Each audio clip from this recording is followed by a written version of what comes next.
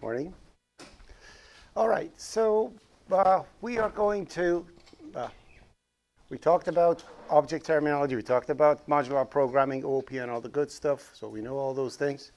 Remember, you're going to have a quiz on those coming lab, okay? Uh, quiz number one. Quiz number zero, I haven't prepared it yet, but as soon as I do it, I'll, I'll send it to you. Um, again, uh, quiz zero is only on how the course is managed, okay? Hello. Today we're going to talk about type references, overloading dynamic memory allocation as far as we can go. There's a lot to cover in here. Um, um, the reason is that most of us are not that strong when it comes to uh, pointers. And I just want to clear that thing up and, and get it out of the way so we understand exactly what they are. So we're going to have a quick review on those too. So most probably this is going to leak a little into the lab as usual. Okay. First half of the semester, I have two uh, two goals. One, to deliver what we have in here. Secondly, to strengthen what we missed from IPC 144. So that's what we are doing. Morning. All right. As usual, like as I mentioned a few times, when I start, I create the project and then I'm not going to do it anymore. Um, so again, we create a new project, empty project, uh, start from scratch with C++, no starting files, that's what we are creating. We select the directory and the directory in which we want to be. We are in NAA now. In here, I'm going to create the directory uh, 03 and I'm going to put January 16th over here and make sure that this is always checked because our solution is our project and we don't have many projects in a solution. Create it and then start working with it. Now, what I want to, oh, I have to do an update, nice, soon. So, uh, don't ignore these updates, okay? Do it. Uh, they're good for your health. Anyway, so um, uh, oops, I closed it by mistake. If you close it by mistake, go to View, Solution Explorer. Just want to put it like this. Then I'm going to add a new item. I'll call it prg.cpp.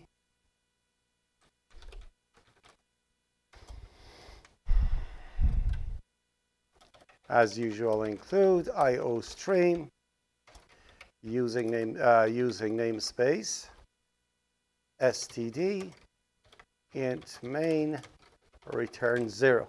Now my question over here is, what is a namespace? Do you remember? Oh, I forgot to tell you the rules of the game. So I ask questions. Either you answer or you're not in a mood, you simply say pass if you don't want to answer. So it goes to the next person. Okay? Then if the next person says pass, goes to the next person. If the third person says pass, then somebody can come to rescue, which means then he can say, Can I answer and put everybody out of their misery? That's how we do it. Okay? Are we okay?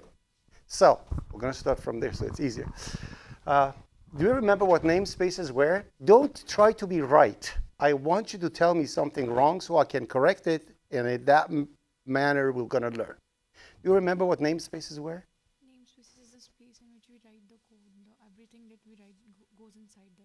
Everything we write goes, goes inside a namespace. I don't have a namespace in main over here. Do you know why? I'm using it. I'm not having it. Uh, it may be due to uh, it do not have any conflicts with other file. We oh, that, that, operating with one.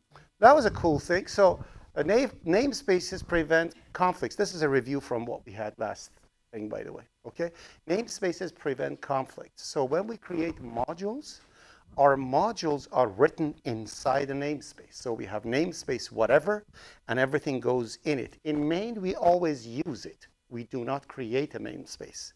So namespaces are in modules, and because modules are written by different departments, we don't want to have conflict in name creations. As we mentioned, for example, a teacher from HR and a teacher from education point of view are objects with the same name, are cl classes with the same name, structures with the same name, but the concept of it and the, uh, what was the name for it? Two different people looking at the same thing and have a different perspective. Remember? No, no, no.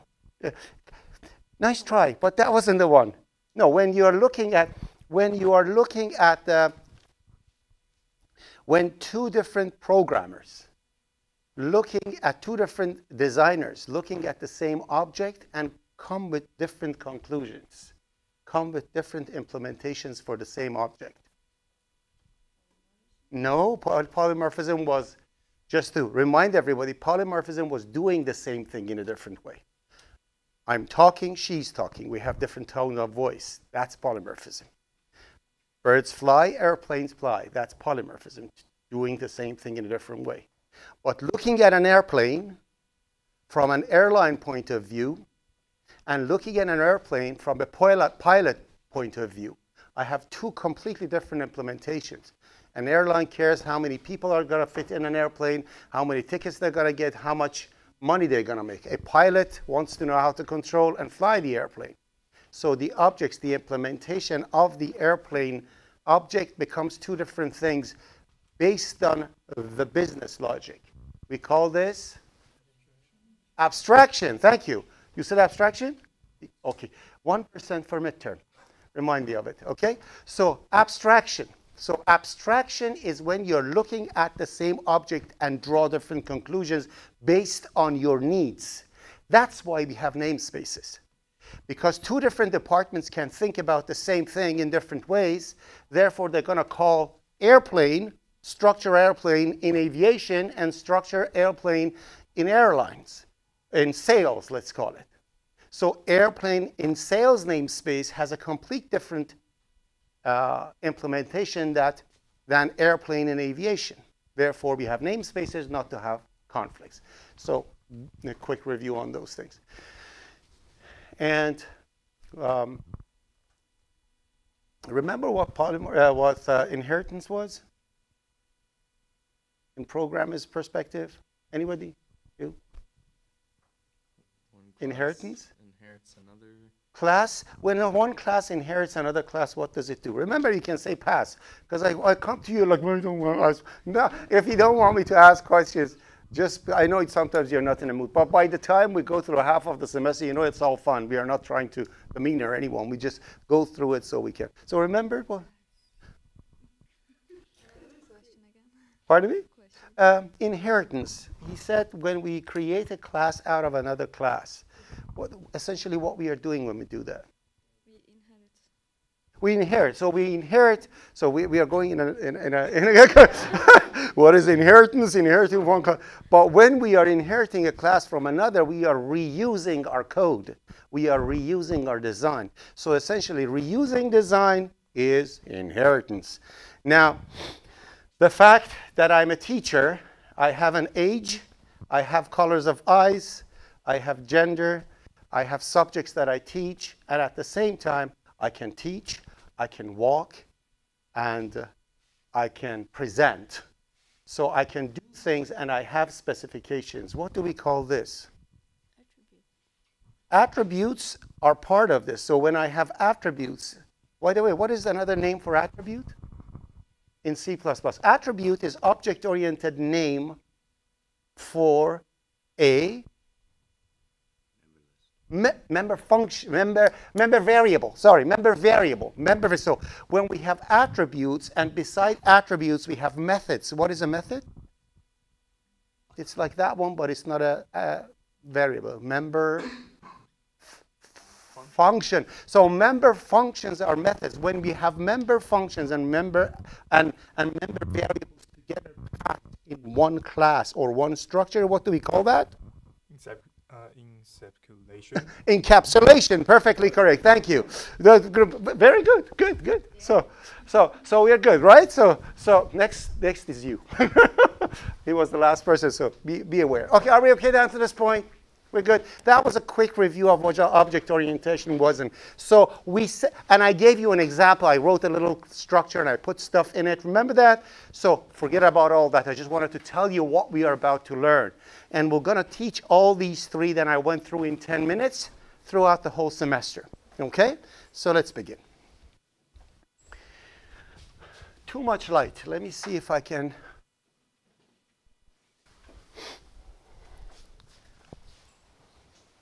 All right. Sorry if I'm putting the people in front and sleep, but one of the most important things in a classroom is to have a well-lit classroom. And sadly, only the back of the class is doing that. Anyways, uh, so let's talk about types in, uh, in C++, like what types do we have? So types that we have in C++ are exactly like C, no difference. Uh, we have, uh, oh, I need my microphone. We have two major types in C language. So if somebody asks you, like if somebody tells you, like when we are dealing with uh, types in C language, we're going to say we have two main category of types. I don't know if you remember that. Do you remember what are the main two category of types? You mean data type? Yeah, data types. You- Integers and? and uh, Integers and? um, character. No. Character is an integer. What did you say? Three passes, and then you can say you have to wait for them to answer. don't don't forget the rules of the game. You let them. If you hear three passes, pass, pass, pass, then you can actually come to rescue. Okay. So yes. So we have two major categories of types. We have integrals, and we have real numbers. Real numbers are the ones that have partials. Integrals are the ones that they don't have partials. 1, 2, 3, 4, 5 integrals. And then we have 1.2, 2.2, 3.65, 3.14, 15926, whatever. So these are real numbers, okay? Now, each category of these two things, integrals, when we are dealing with integrals, do you remember the types that represent integrals in C language? Uh, and float double. You're exactly said the opposite. Integrals are the ones that have no partials. Doubles are half partial. So int, int, what else? Have int. No, double is real. Int. You can say pass if you okay.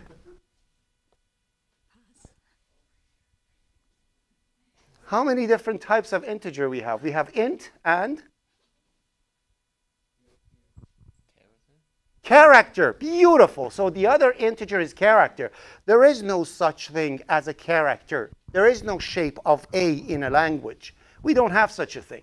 We don't have character X or character A. Character A is an integer. What is that integer? Do you remember? Whoa, the code for character, the ASCII code for character A. You don't remember? It's 65. Okay, so so so 65 is actually the char- the code for character A. There is no character. I give the compiler an integer and tell the compiler print the shape that is uh, set or corresponding to this code. So I ask the compiler to print the code 65, the, and the compiler prints a capital A for me. And I think 92 is lowercase a, something like that. Okay? So these are just integers. And what is the other type of integer that we have? So character int and pass. Okay, so so these are the types, which means we really need to know. we don't know. So these are the types that we have that we can deal with as integers. So integer numbers or integrals. So ints are character, short, int, long, long, long. And I literally put it in ascending order.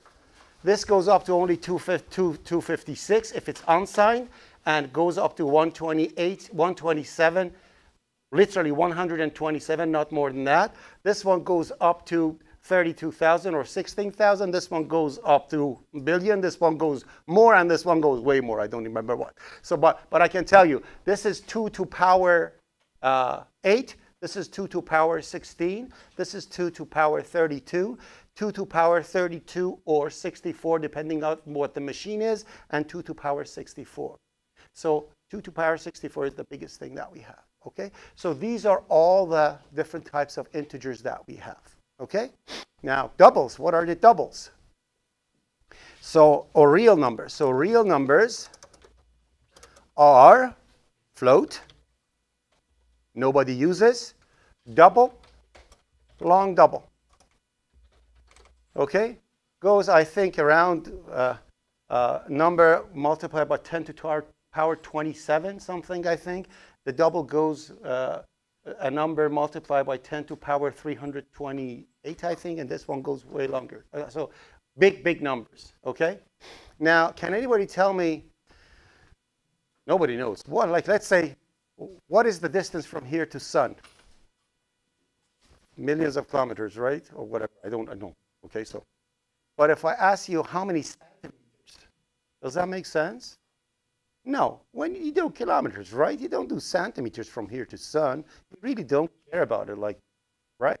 And you cannot be that precise. That's what real numbers are.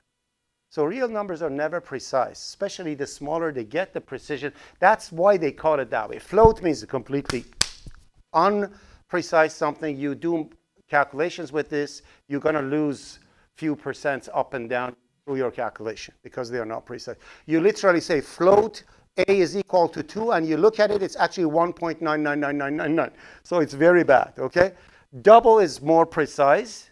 That's why they call it double, double precision. And this is long double, it means very precise.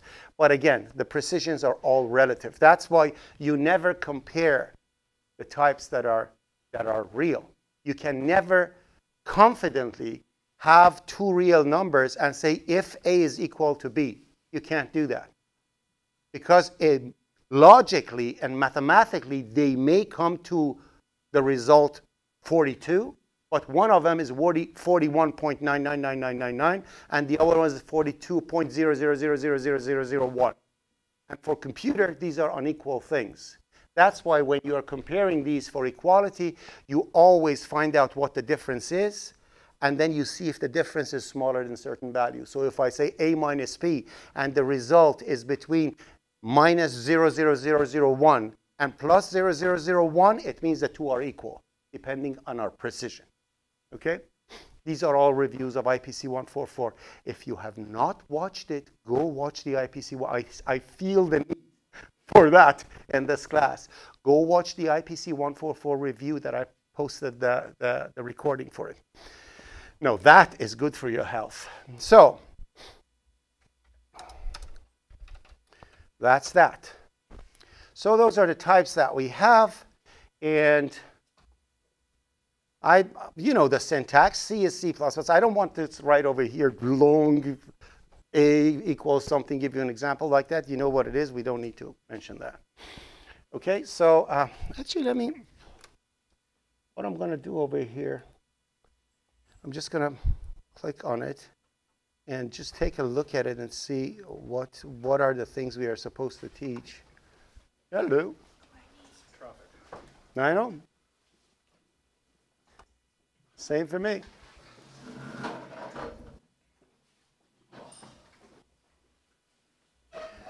Unlike, okay, here comes the microphone.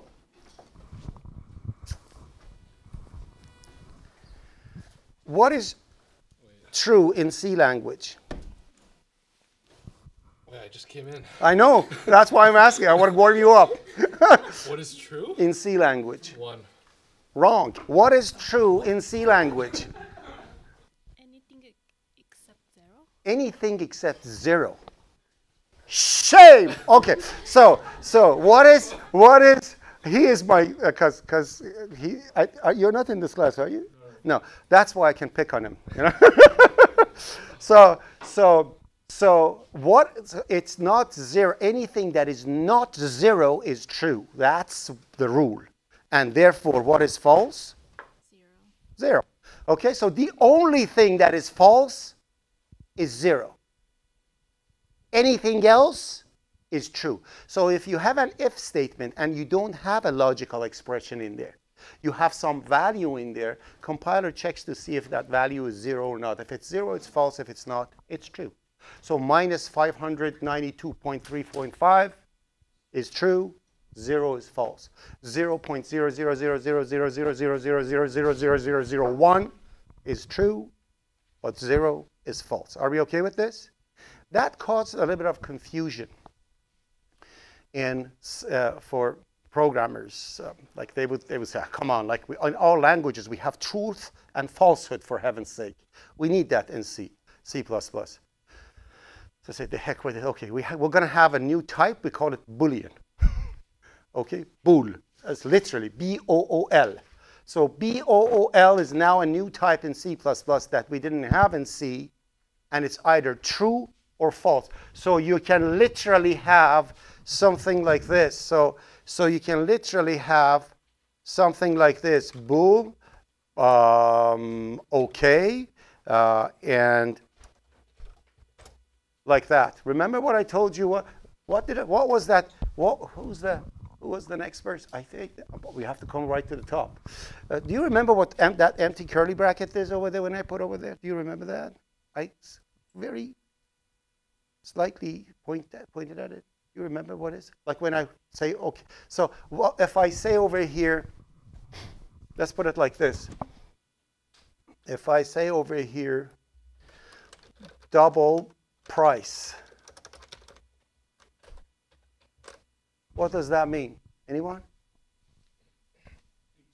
Uh, the default value. Default value. So the default value of whatever it is, which essentially means zero. So don't bother putting zero in front of stuff. This is better. It means it's universal. You can put it in front of anything and it defaults it if it's defaultable. And if it's not, you get an error. So you know you cannot set this thing to default. So do it like that, okay? So, and if I, if I write over here, if I write over here, bool, okay, what is it going to be? What is it going to be? False, because the default is zero, and zero is false, therefore it will be false. Either I can do this, or I can actually say false. So now we have actually constant, we have literal values for, in, for integers. I can write 952. That's a literal value for an integer, correct? Literal values for Boolean is false and true, but they are all fake.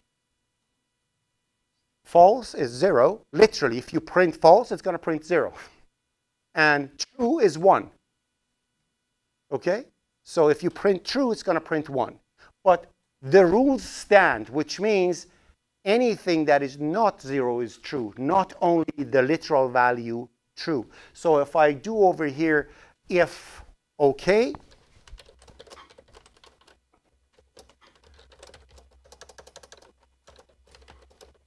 this will not happen. Right? And I can say okay is true if okay. See out.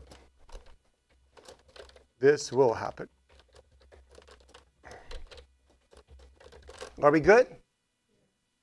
Are we okay?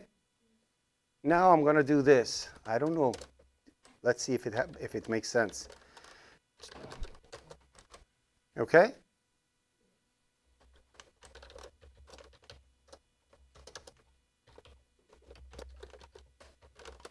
Run, Forrest, run. You compile and run it. Bless you. And what's the result? One. So if you put a non-zero value inside a Boolean, it turns it to one because that's what true is. Got it? And that is called casting. It is actually casting it. So it's casting 2, 3, 4 to a Boolean. Therefore, it is true. Are we good? Are we okay, one? Are we okay, two? All right. All right. We are going somewhere. All right. So now we know what Booleans are. Okay? So I'm going to call it A types dot CPP. So you know what types are, and I'm going to continue to the next thing.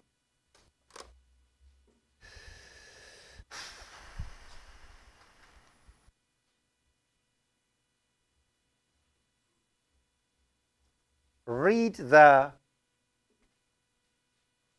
I'm not going to go through every single thing that it says. That's why we have the quiz. So you're going to read this like your life depends on it after I'm done. Okay? Not before. Before you just glance. Before you come to class, you just see, okay, definitions, we're going to do these and that. Okay? Afterwards, when you go home, you really read them because I'm not going to go through every single thing over here. These are the things that you have to study by yourself. And then when you come to class, we'll continue. So this is extremely important. You don't do that, you're not going to be successful in the subject. Extremely careful. Okay? So unlike C language in C++, we al already mentioned this and you know it. If I create a structure, struct, uh, what you call it, say uh, car,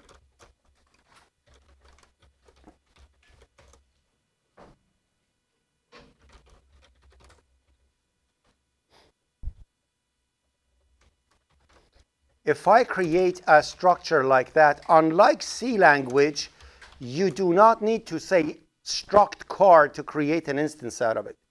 C++, any structure you create becomes a type automatically after that. So if I want to create an array of types, I'm going to say over here car,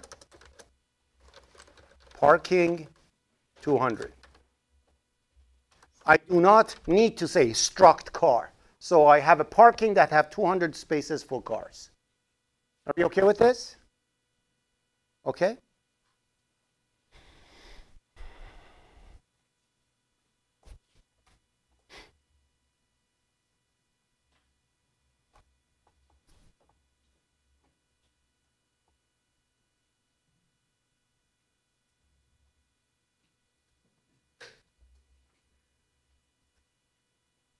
We talked about preprocessor directives. You know what they are. Anything that starts with hashtag, it means you're talking to the compiler and asking compiler what to do. We went through that already. I'm not going to talk about that.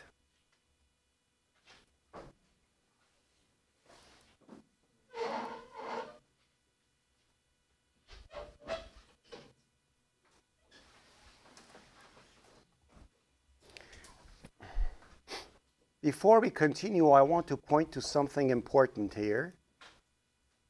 Before we continue, I want to point to something important here. And that's how the compiler works.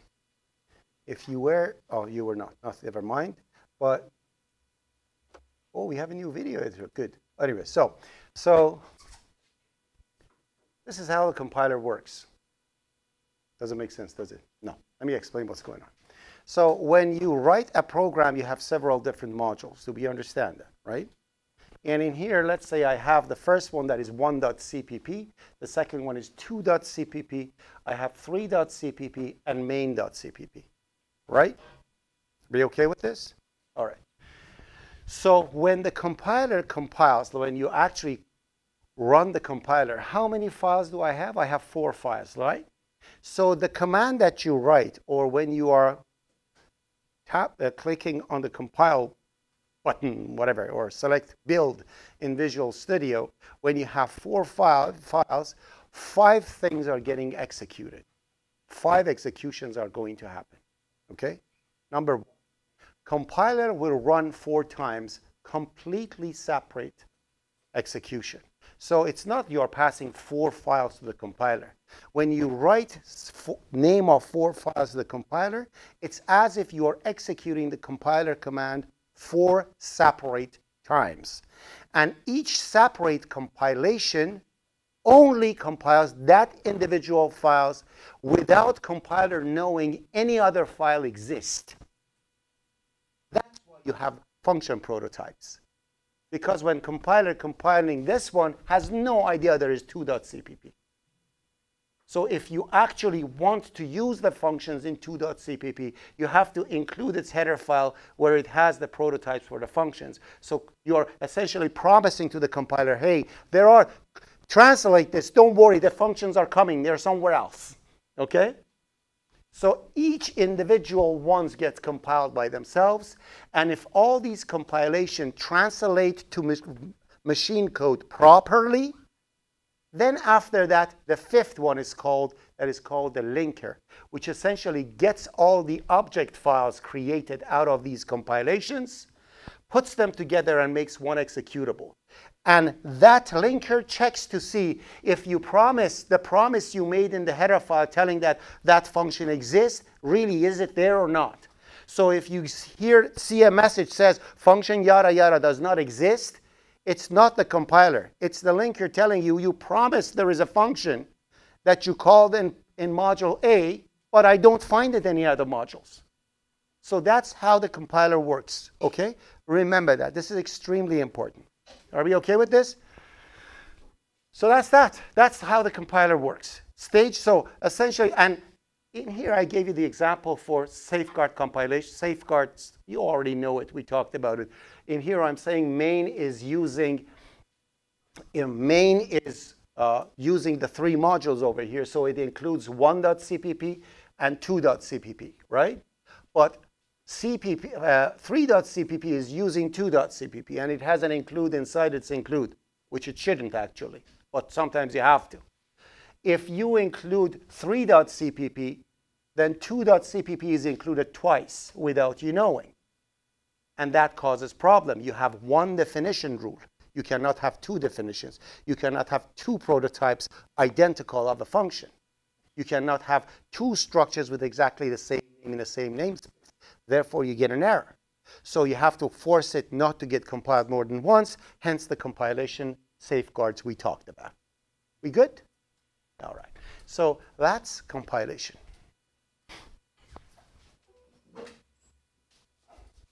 I need to put that thing out of the way, and then we are going to talk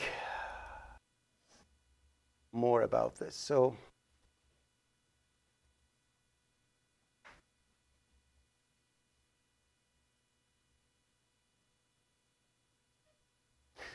Okay, so uh, the, what was this one? This one was struct being so. So in here I'm going to say b structs, and in here I'm going to say classes are types. Just remember, okay, any structure you create, and you will soon see, we're going to replace this word with class. Okay, soon we're going to replace the word struct with class. You'll see why. They are identical things. It's just minor differences that we're going to get to it when the time comes. Are we okay down to this point, people? Are we okay one? Okay two? All right. To pause for a second. So that's that.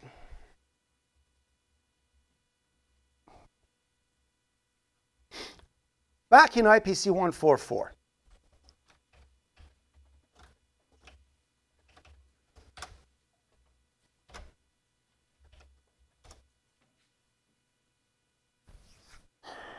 we had that graph thingy for, for, for our workshop, right? That actually drew a graph, and we had a line function over there, right? So how, how did the line function work? So we had something like this. We wrote something like, let's say I can write over here, void line, and I use some kind of a character to, to, to draw the line with, right? So I'm going to call that character fill, okay? I'm filling the line with, and then I need to have a, uh, uh, what should we call it? Uh, uh, a type of a character to uh, a, a, number of characters to draw the line, how long I want the line be. So in here, I'm going to put some kind of an integer, which I'm going to introduce you to a new type in C++ that is a type that is used for sizes, anything that is positive only. Okay? They call that size_t. It essentially means unsigned integer. Remember what unsigns are from, from C, from C language? When you add an unsign, it removes the negative parts of an integer and the size becomes double. Okay, so how many fingers? 10.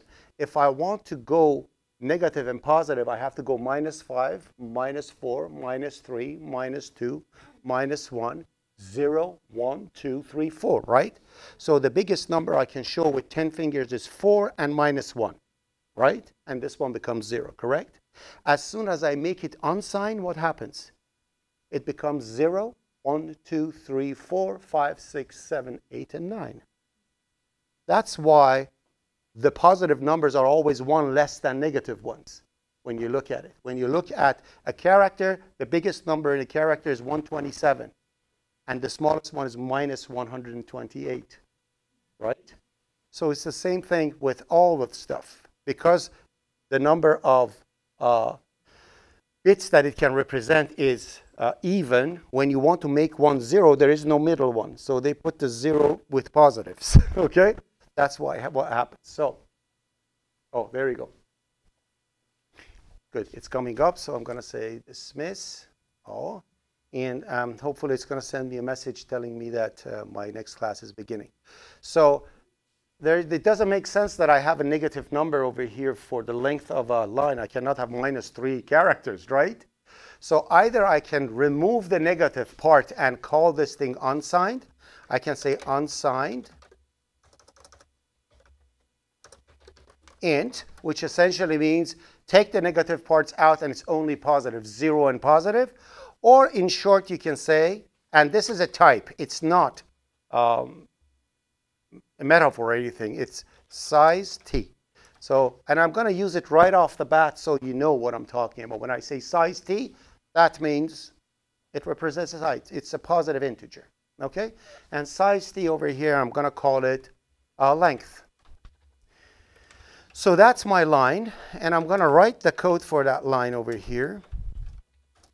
So essentially, I'm going to say, what am I going to say? Let me just, okay. So I can say over here, um, uh, for integer i, or sorry, size_t, i, and i less than len, and i plus plus, right? i plus plus. Then what do I do over here? I'll go cout, fill. Correct? Right? And at the end, I'll go to new line. cout and L go to new line. Are we okay with this? Any problem with this beautiful code of mine? We're good, right? Okay.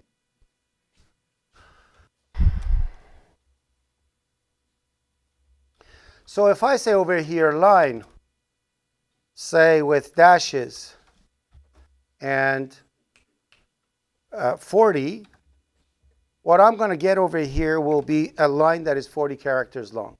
I have build errors only? Seriously? this is amazing. What did I do wrong? Oh. Oh, uninitialized. I forgot to initially initialize it. Sorry.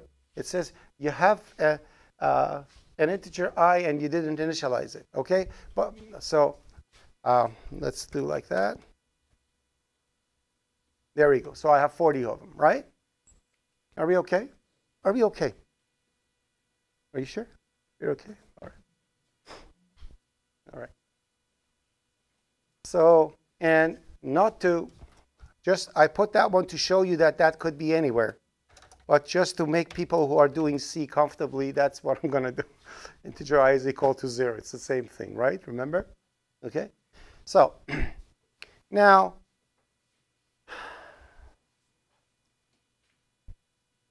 what if I want to just draw a line? And when I say I want a line, I want it to be 79 characters or 70 characters. I don't want the length. I want to just draw, draw a line. If I wanted to do that in C language, I had to write another one, something like uh, function, write, something, write, write a function like void full line, and I'll go character fill, and I do not put any size for it.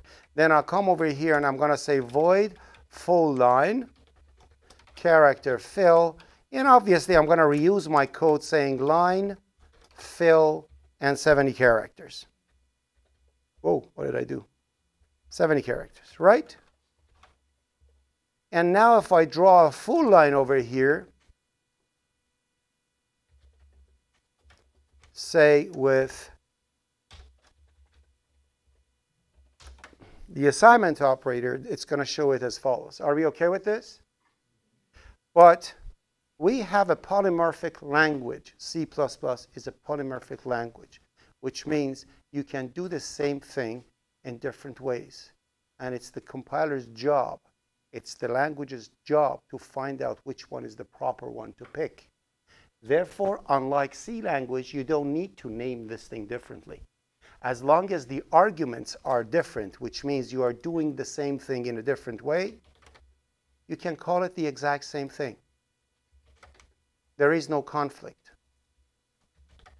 That's the first polymorphic thing that you see in C++. The functions can have same name as long as the arguments are different. Are we good? Are we okay? So I can have different versions of this line. I can say, okay, if somebody wants to draw a line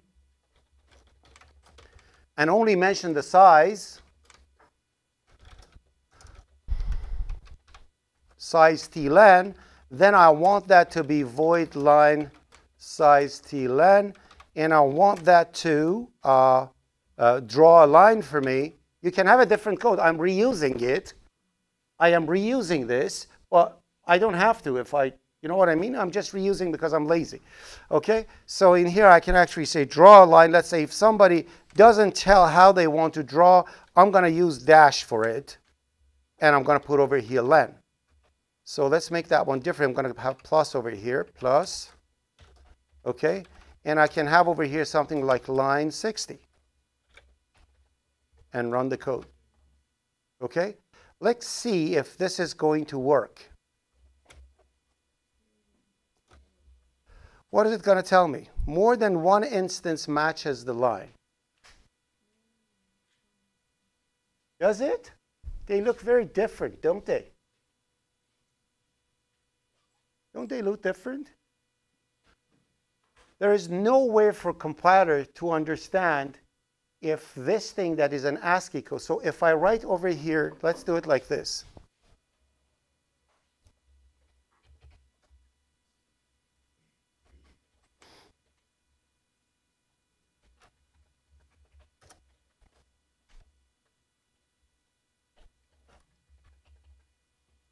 And I'm going to remove this length thingy for now.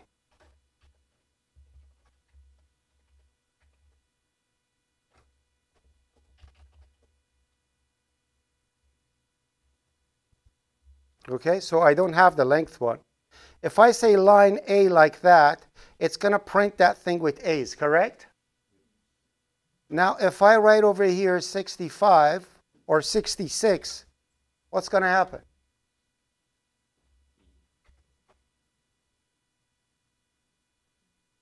What did we say about characters? They're integers, right? So that single quotes you put around your single quotes you put around you, the thing, it's just because we don't have a good memory. I want the 66.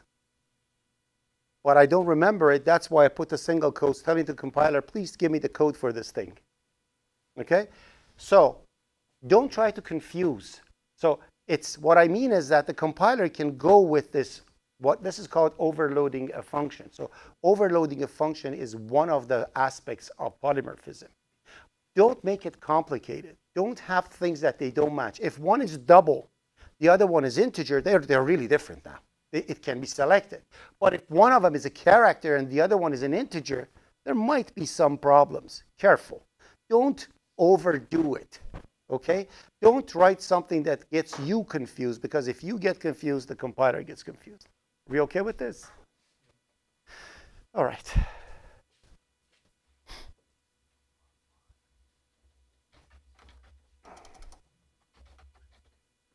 In conflict with line char since char is integral. All right? You okay with this? All right. So let's go back. I want to clean this up and go back to my line. So I'm going to say, I'm going to say overloading intro.cpp. So I'm going to clean that thing up that I did, and I don't want to write something messy. Well, you can always overload in some other ways, write, writing void only line and say, if I do that, if I only write, and let's put this one over here, something like, like that. And you can say if somebody wants just to draw a line, that essentially means drawing a line with dashes and 70 characters, if you just say line. Okay, so if you don't mention what, and you just say line. So now that's a valid overloading. Now I have three different lines.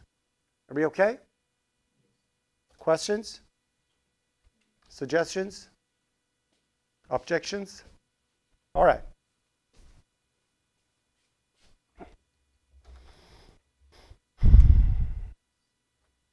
What happened? Oh, wrong window.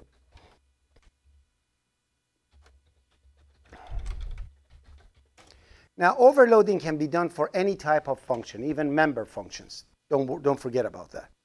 We are giving you example of standalone functions for now until we, we, we teach encapsulation. When we go through encapsulation, then you'll know what we are talking about. You can overload anything, okay?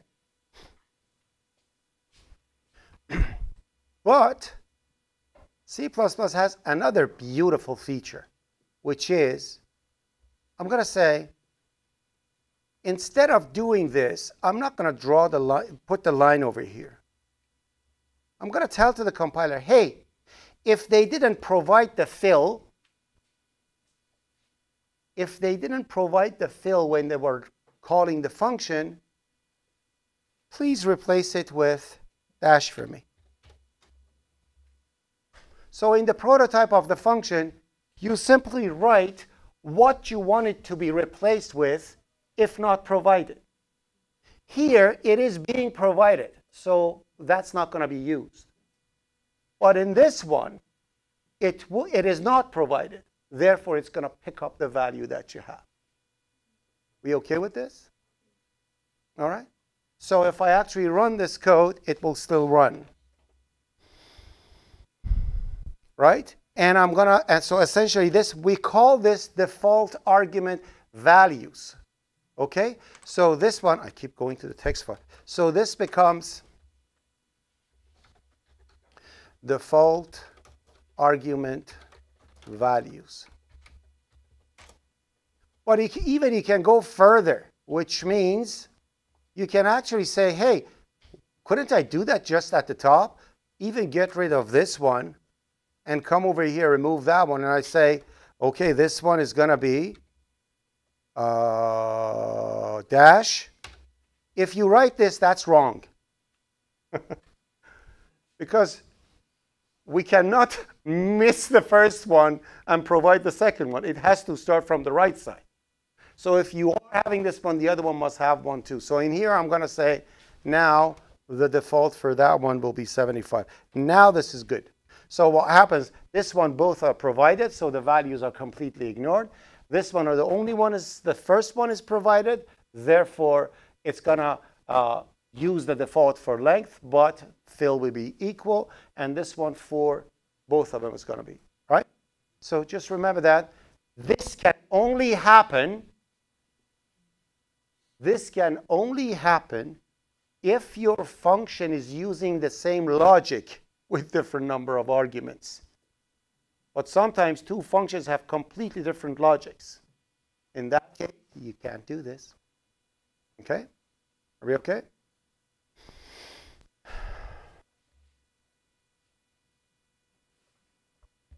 All right. All right, so that's overloading.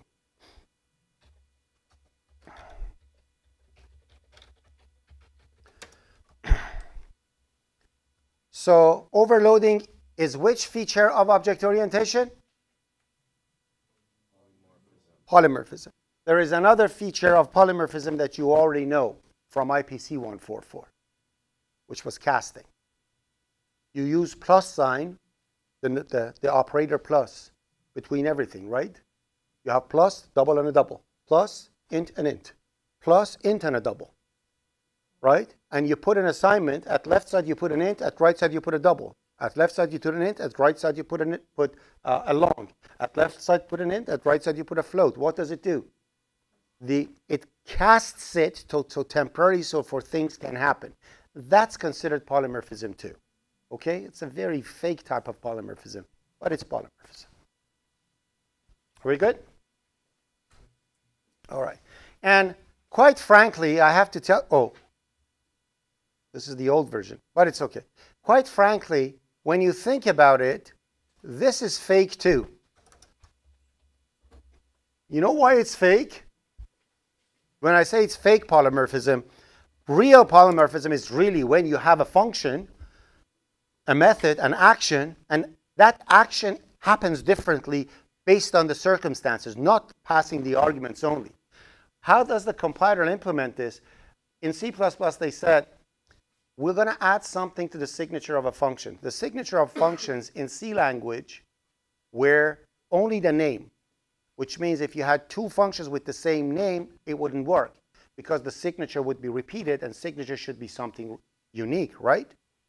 In C++, they said, the heck with it. Let's just attach the types to the name. So the first function behind the scene is called line char size_t. The second one behind the scene is called line char. Therefore, there are two different functions, right? But we are faking it, and we accepted that polymorphism. It's, a, it's an, a feature of polymorphism. At the end of the semester, you're going to see which category it's going to fall into. But that's what it is. Are we okay down to this point?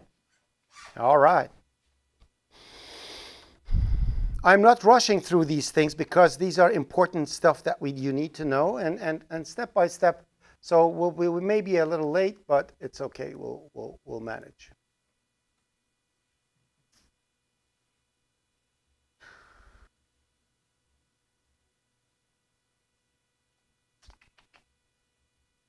All right.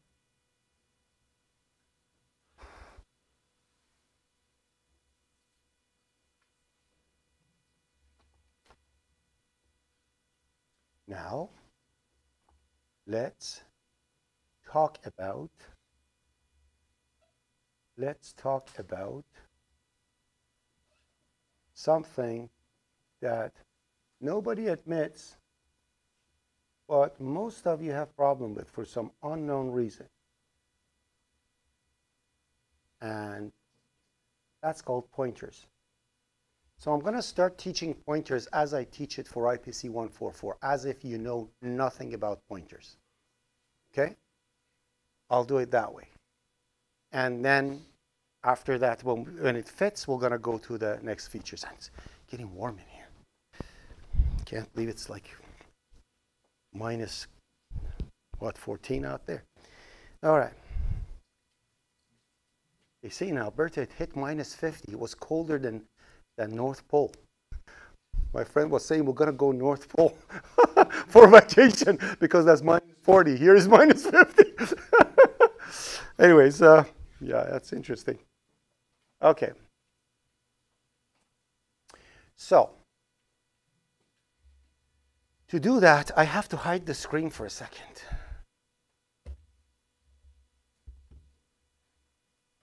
Do something behind the scenes so you don't see. All right, give me a second. Let me pause.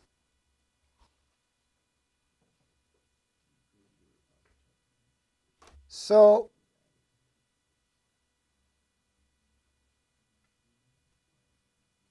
I don't use slide and stuff like that, but this one needs lots of illustration. I don't want my hands dirty with a marker, so that's why it's one of the rare times that you see I put uh, a slide up. Uh, so that's the representation of the memory of your computer. Memory of your computer is essentially a long array of characters, a long array of bytes, a long array of integers that is 256, uh, 8 bits, maximum 256 by value and each one has an index. So the very beginning of your memory has index zero, and it keeps going to whatever money you have in your pocket. The bigger the RAM it is, the bigger your, the size of the memory is. So when I say over here 144, I mean 234, It means a big number. So I just put the first three over here. So let's assume that these numbers are ginormous and very big. Are we getting down to this point? Okay. This illustration has a boo-boo that I didn't fix, and it's been like there for 10 years, and every time I say, I made a mistake, just ignore it. I missed the byte 124 here. Supposed to be another thing over here called 124 and then goes to 125. So byte 124 is missing in this one. This is not supposed, it's supposed to have another thing over here. Okay. One day I maybe fix it. So imagine that there is a 124th byte over here and then goes to byte 125 and it continues. Are we okay with this? So this is the memory that you have. and that's everything about your computer. That's how the CPU works. CPU puts stuff in memory, does its processing, and then puts the values back, and then they get the results. And so memory is everything with computers. It's the only reason the computer can work. It can remember things. So when in your program you, you do you say something like integer var, what happens is that the compiler asks the operating system to give you a piece of memory and calls that one var. It doesn't actually ask the operating system, quite frankly. It actually puts it inside the executable. So when you have int var like that, four bytes will be added to the size of your executable program. And if you create an array of 5,000 characters, then 5,000 multiplied by 4 bytes will be added to the size of your executable. So when compiler brings the computer into memory, it brings your executable into memory, you're going to have your variable over there. You can use it and you can do anything you want with it. Are we okay with this? But that's not always what we want. And the same thing happens if you say a double. Like if I actually write over here double, then it's going to have another piece of memory. This one is 8, and it's going to put that one. Now, what is the address of var in here? What is the address? Address means index. Well, everybody's looking at me. What is the address of var?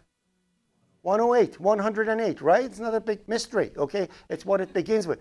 And dvar is 132. Are we okay with this? Okay, so when we do something like this, and when you actually set a value, the value is turned into binary and it's put inside the variable. So if I say var is that value, it goes over there. And if I say is that value, it goes over there. Are we okay with this? Okay, so let's go back to the thing. Now, they kept doing that, but the memory got bigger and bigger. You cannot make your executable heap bigger and bigger as you go, right? So what they did, they said, instead of doing that, let the program run.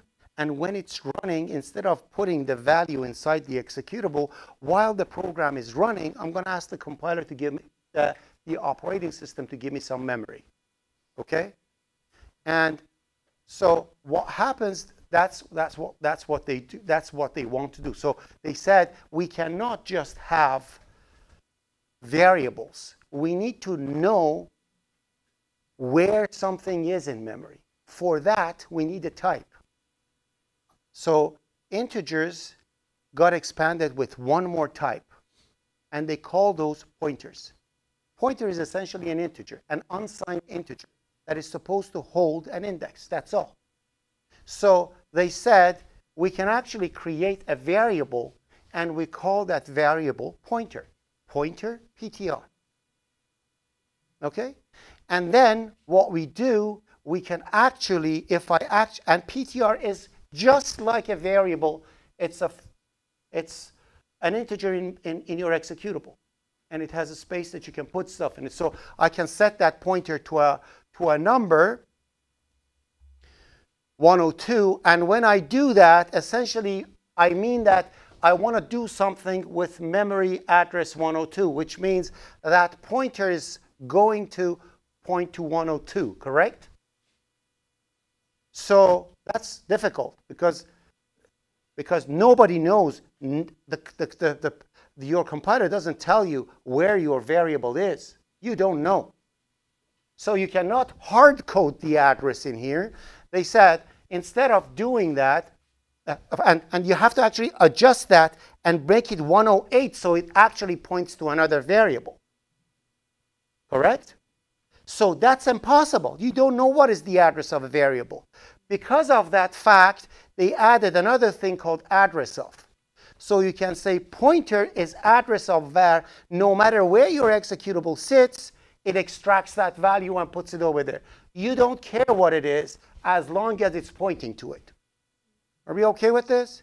So essentially, if I actually, if I actually write, and then they created something else called target of.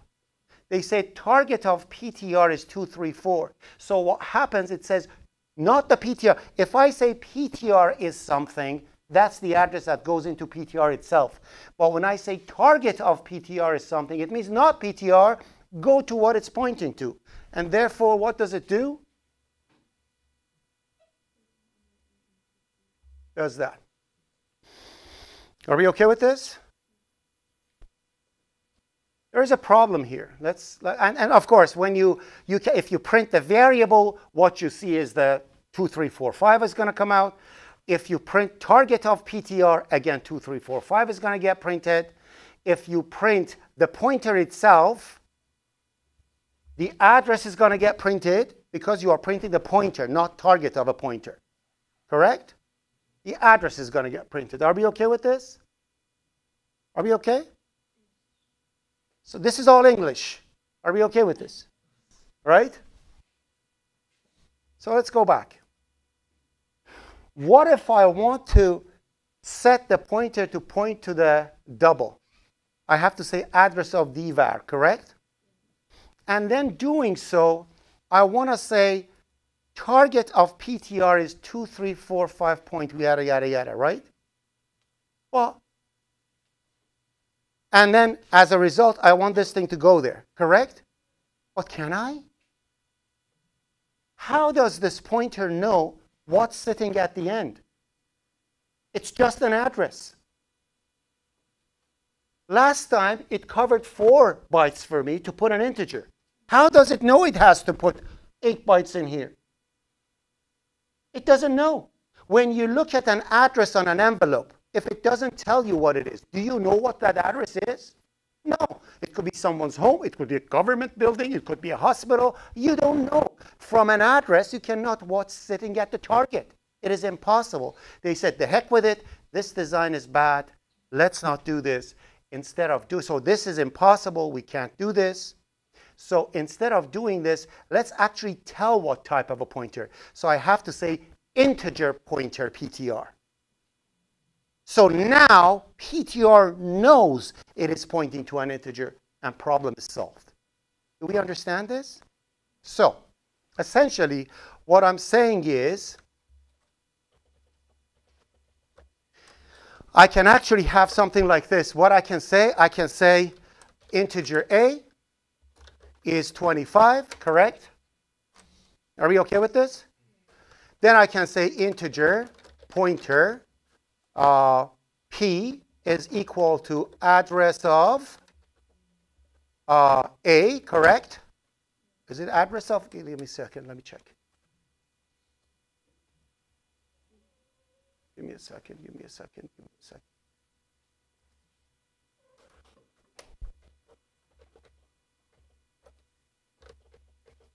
Sorry, O is capital, I made a mistake. It's address of. Okay, so now P holds address of A, correct? Now if I say target of A, uh, target of P is equal to 1, 2, 3, 4, 5, right? If I say cout A, what's going to get printed in here? Correct? If I run the program, I'm going to get an error. Why? Uh, why am I getting an error? Give me a second. It shouldn't get an error. Let me stop this. Uh, get down. I don't want to present now.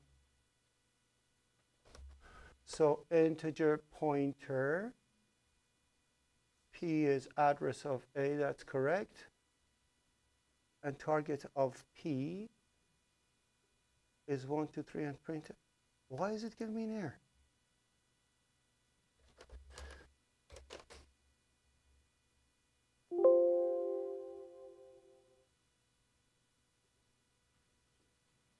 Hmm. Give me a second. This should work, I think. I, let me just check.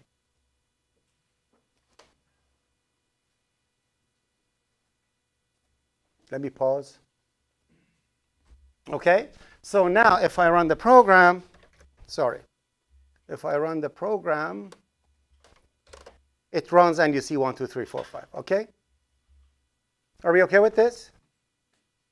So, have you seen these keywords before? You've never seen it before, right? This is why.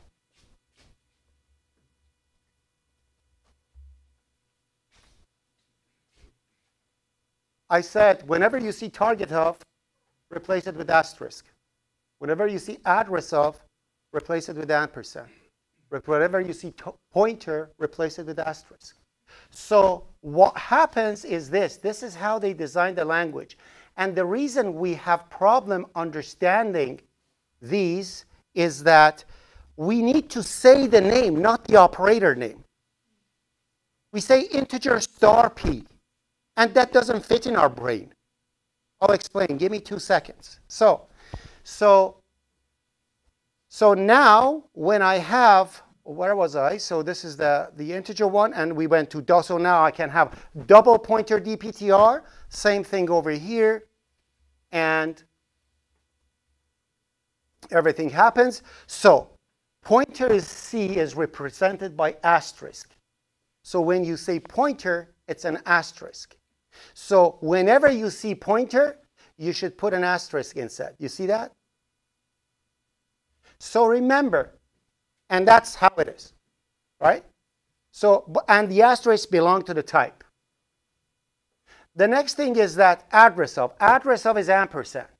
So wherever you see ampersand, uh, address of, you replace it with an ampersand. Target of, unfortunately, is represented with asterisk 2. That's what confuses out of everyone. And again, I'm going to change the target of, and this is what happens, right? So that's the syntax that you saw in C. So target of and pointer are both presented by asterisk. How do we find out which one is which? It's very simple, actually. If the star comes after a type, that means a type pointer. Don't call it type asterisk. When you see char asterisk P, say char pointer P. Don't say char asterisk char star. Really name it. So you see an asterisk coming after type, that always means pointer.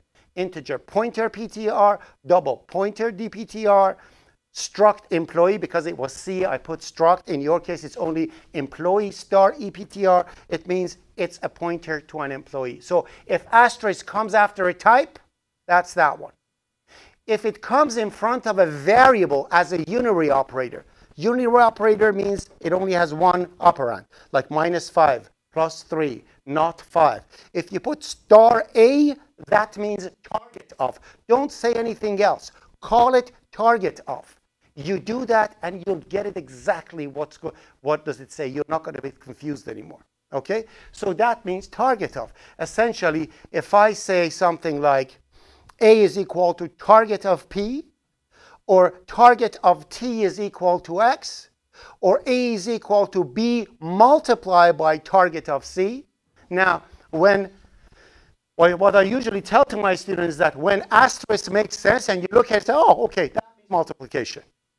Okay? When it comes after a type, it's a pointer. When you go, what the heck? That means target of. Okay? so that's what it is. Okay? So, so we can have stuff like something like equal E equals target of M multiplied by C multiplied by C. Okay? The first one doesn't make sense, right? So that's target of M multiplied by C multiplied by C. Are we okay with this? And that's pointers, ladies and gentlemen. That's it. We don't need anything else about it. If you follow that rules, as I told you, everything's crystal clear. You don't need to worry about anything. Okay? So that's that. I know I don't give, didn't give you a break. In this class, we're going to have the break at the end because I have to run. I have five minutes to go to. So we're going to go earlier. Instead of 9, 9.45 it ends, right? I'll try to make it earlier, something like 9.35, so you go 10 minutes earlier, okay? Instead of have a, having a break. So come with your coffees and water and stuff like that. And bear with me and my apologies. I know you're yawning and, it's very difficult to sit in this class, especially after bad traffic. So,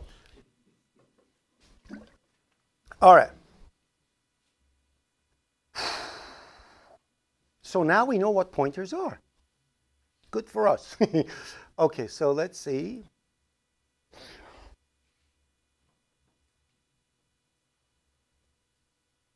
Now, pointers is what scares the bejesus out of everyone, right? So let me, so I'm going to call this fake pointers.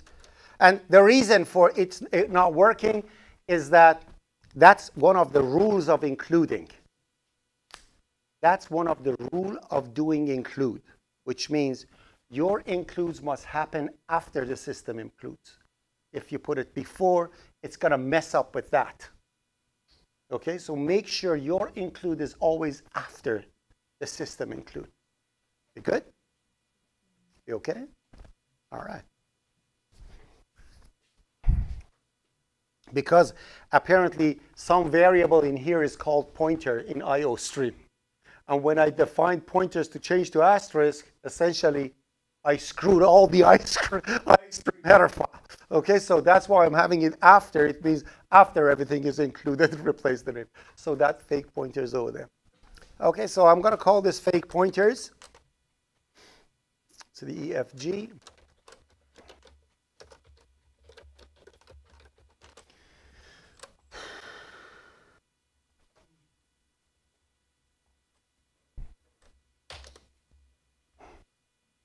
I have a request. My name is Fardad. I even I pronounce it badly because it's it's not it's not it's not Fardat that I it's actually Fardot. The guy who wrote my name in a passport didn't know English, he just wrote it incorrectly. I was supposed to be F A R D A U D, so that actually becomes Fardot. It's actually correct. That's the way it's supposed to. Be. But could you please call me Freddy from now on? So my name is going to be Freddy. Okay? So, are we okay with this? So, who's Freddy? Who's Fardad? If you ask Freddy to teach, who's going to teach? Which is Fardad. If you ask Fardad to teach, who's going to teach? Right? Are we all okay with this? We have that in C++. You can actually you can actually give stuff new names.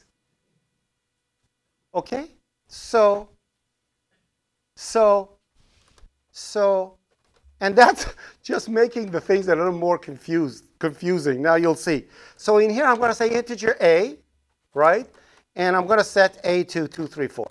Okay? And by the way, the same thing goes over here. You can actually do this, believe it or not.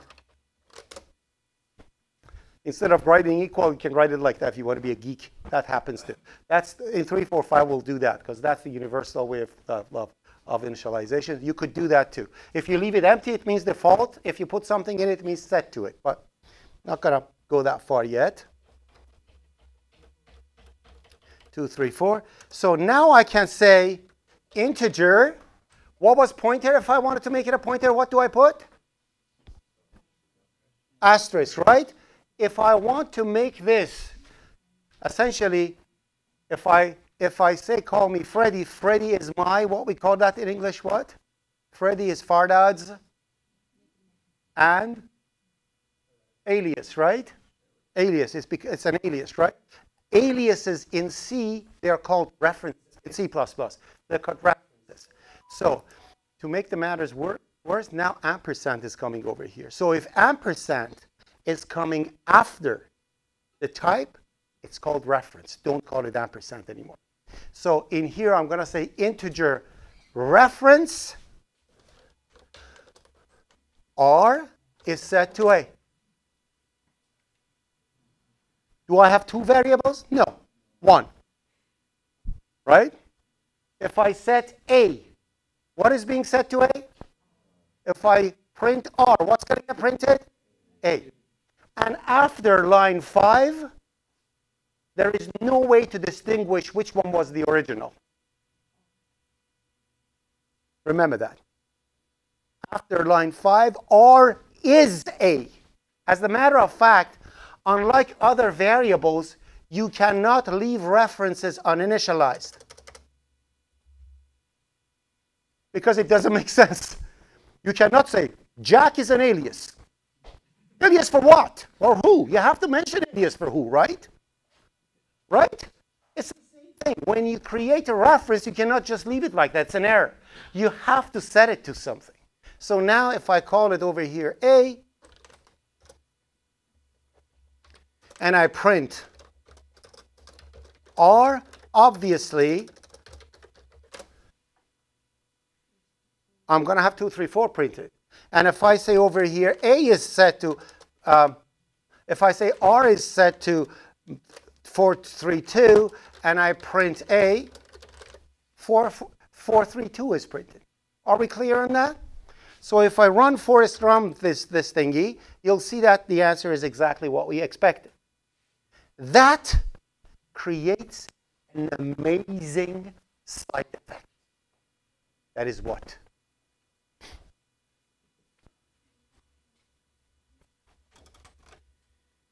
So I'm going to save this as EFGGH. I'm going to say references intro.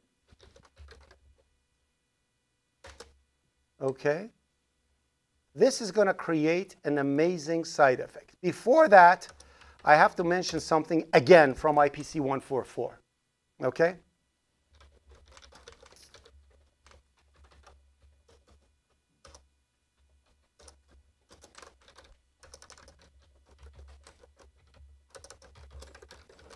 The devil is that E? I have no idea. Okay?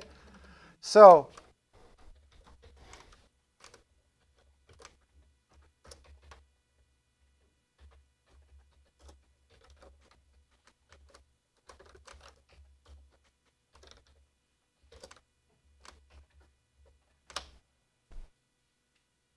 when you call a function, what really happens?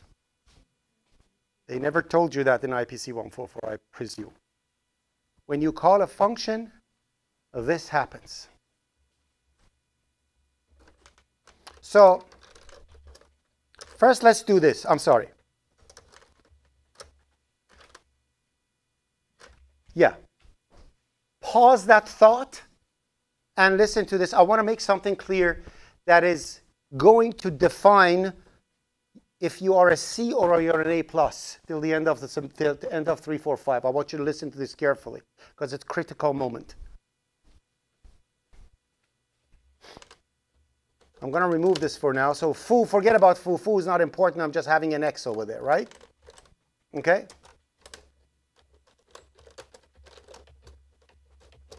What is the output? 34, right?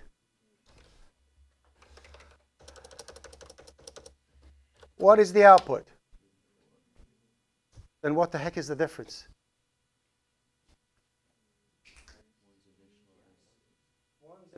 And the other one? What does that mean? Okay, so one was initialized and the other one was set. What does that mean? Who's going to be the hero? You are. What is the difference between initialization and setting? Do you know that? Do you know what's the difference between initialization and setting? Anyone? Yes, sir. Maybe when we initialize it, have maybe the garbage values in it. Thank you. Thank you. You already got the one percent for the thing, right? Sorry, you're not going to get the next one. Okay, so so you only you only can score once in a session, okay? But please answer questions you get. So when you do something like this, x is initialized, which means at no moment of time x has anything other than 34 in it. When x is born, it's 34 inside. We understand this? In the other one,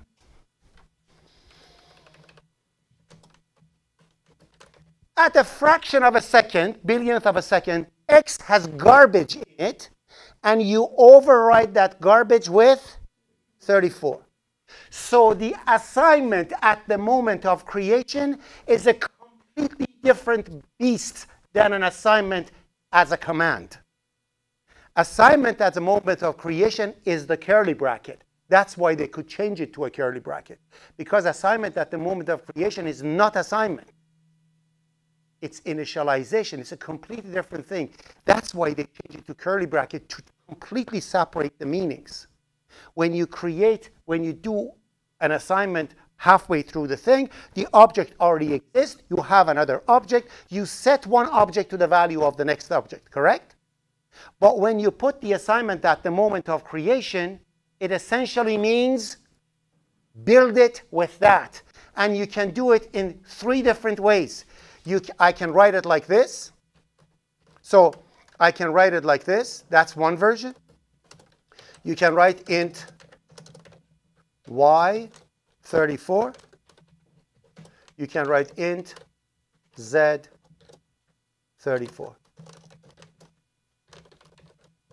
They are all the same.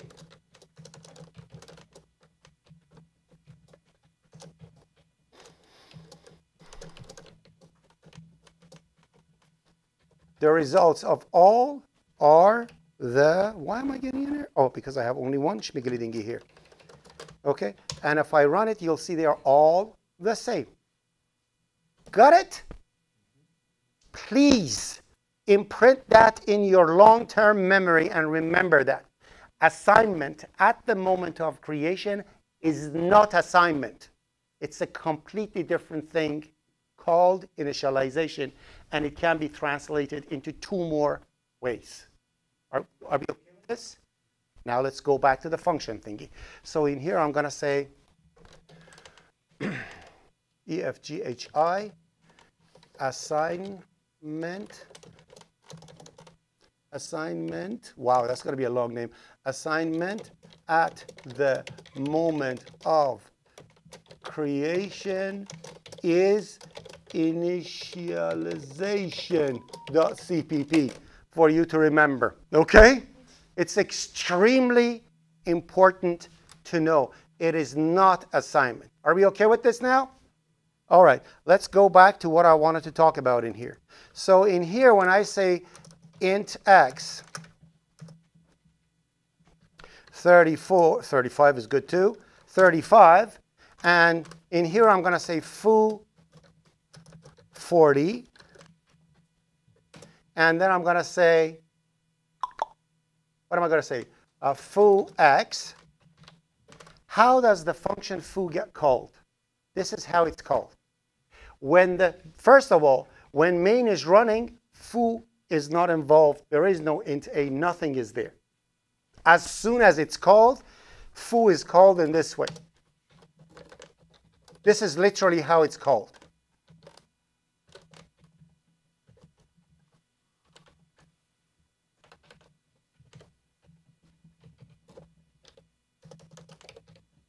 So the argument of a function is initialized with the value that you have passed to it. Appreciate the word initialize there.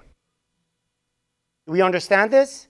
So when you call a function, any argument in a function you have, they are being initialized by the value you are passing to it.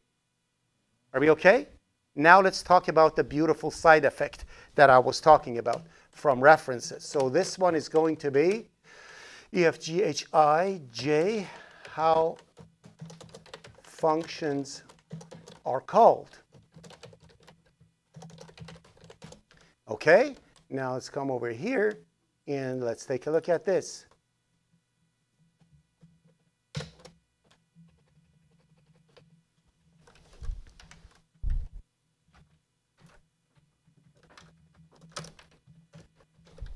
When I say foo x, what's going to be the result?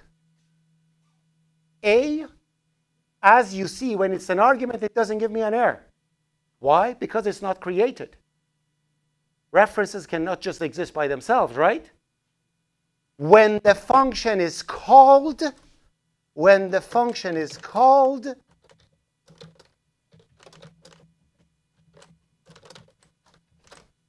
it is assigned. What does it mean? A becomes a new name for x, correct? Therefore, when I print this, obviously, it's going to print 34, correct? But even better, look at this.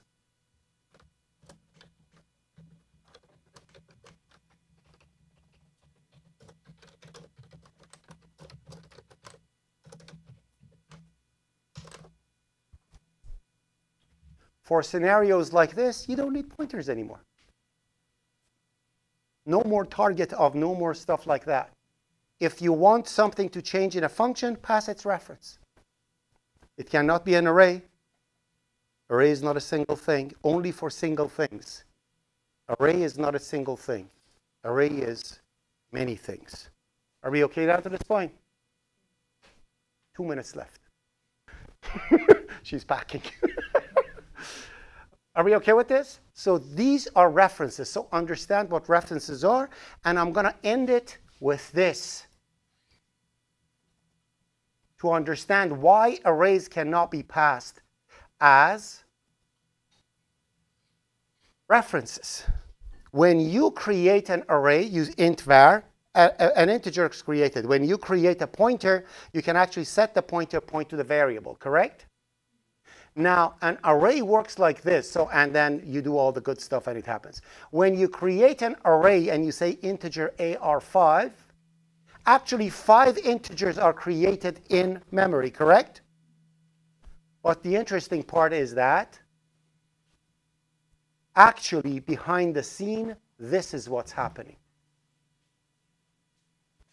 AR is actually a pointer pointing to the beginning of the array. So if you say target of AR, the first element is going to get printed. Pointers are nothing, uh, arrays are nothing but a pointer pointing to a bunch of stuff instead of only one thing. And because of that target of business being very difficult, they created the index. But the meaning is the same. So essentially, when you do something like this, if I say target of AR is 2, 3, 4, 5, the first one's going to be 2, 3, 4, 5. If I say AR2 is 444, it's going to be that one. And most important one, if I say target of AR2 is equal to 555, is the same as AR2. No difference. Why? Because in here, why? Oh, oh, oh, oh. Why? Because in here I'm saying from the address of AR, go it two integers further. From the address of AR, go one and two integers further. Now write. Ta-da! And that's the difference between a pointer and an integer. To an integer, you add one, one will be added. To a pointer, you add one, the size of the target will be added to it. So if it's pointing to a double, AR will be plus by 8. If it's pointing to a st structure that is 200 bytes, 200 will be added to it. And that's how uh, arrays are, are implemented. And this is C, not C++. That's why you cannot pass a reference of an array, because array is not a single thing. It's a mechanism that is going back there. Arrays still work the same old-fashioned way that we did, but single stuff, you can pass them with references. Are we good? Have a beautiful day.